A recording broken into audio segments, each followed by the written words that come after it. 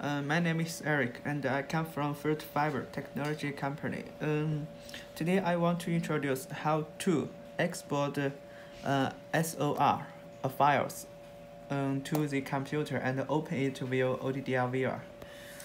Um, first of all, you need to link the OTDR to the to your computer.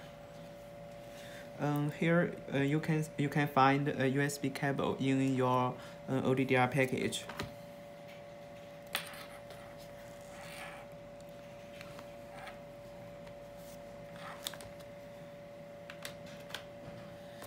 And you turn on. Okay. And first, and then you need to install a driver in your um, in, in your computer. Um, you do not need to worry about uh, your Windows version. Every version is okay for the software. Um, press the setup and press the install. Um, because my system, my computer system is uh, Chinese, so the language is Chinese. But if yours is English, these words are all English.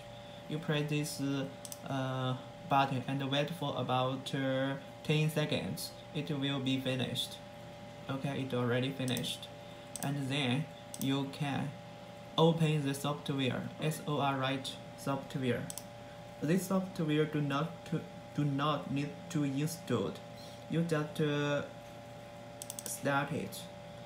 And uh, also, these words will be English if your um, if your com if your computer system is in English.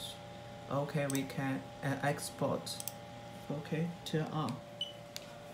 And uh, export. There are totally four four test results in OTDR, so we uh, export all of them. You also can ex export just one mm, one one SOR files. Okay, already finished. We click the uh, confirm button.